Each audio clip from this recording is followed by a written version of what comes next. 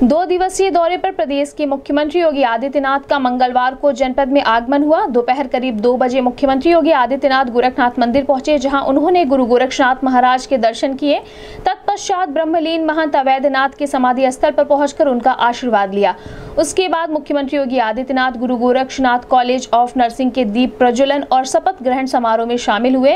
उसके बाद मुख्यमंत्री योगी आदित्यनाथ ने राप्ती तट पर नवनिर्मित राम घाट और गुरु गोरक्षनाथ घाट का लोकार्पण किया और दिव्यांगों में मोटराइज ट्राई साइकिल का वितरण करने के बाद गोरखनाथ मंदिर पहुँचे और अधिकारियों के साथ विकास कार्यों के साथ कानून व्यवस्था की समीक्षा की। मुख्यमंत्री योगी आदित्यनाथ रात्रि विश्राम गोरखनाथ मंदिर में करेंगे और बुधवार को लखनऊ के लिए रवाना होंगे।